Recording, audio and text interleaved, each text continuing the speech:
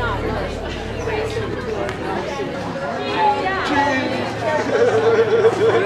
we get everybody ready and some people to pick up signs on the wall so we can carry out with this?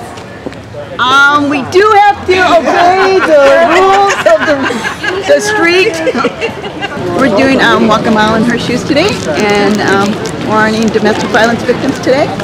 Um, today is the week of Domestic Violence Week from October 18th to October 22nd. Domestic violence is also a man issue, so therefore we, it's just being in a mile in her shoes and seeing what it's like. So that's what we're about. Eyes up here.